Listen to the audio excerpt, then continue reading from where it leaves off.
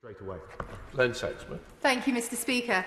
The top 10 repeat offenders being dealt with by police in North Devon have committed 108 offences in April to June this year. As the police themselves say, many of these individuals have previously been imprisoned, some on multiple occasions, but the offending cycle continues. What more can be done to reduce repeat offending, as the current system locally is clearly not delivering that desired outcome? Oh, well, thanks. So.